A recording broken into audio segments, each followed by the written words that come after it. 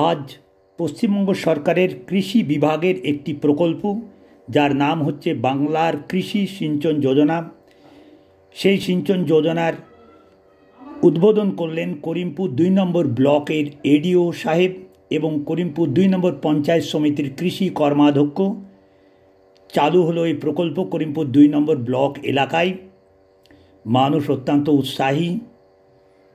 এ বিষয়ে the ADO of Karimpur two block and কৃষি কর্মাধ্যক্ষ অফ করিমপুর টু পঞ্চায়েত সমিতি have launched Bangla Krishi irrigation Yojana system in Karimpur two block area of Nadia district সংবাদ করেছেন সাংবাদিক টিঙ্কু বিশ্বাস এবং সাংবাদিক কার্তিক মণ্ডল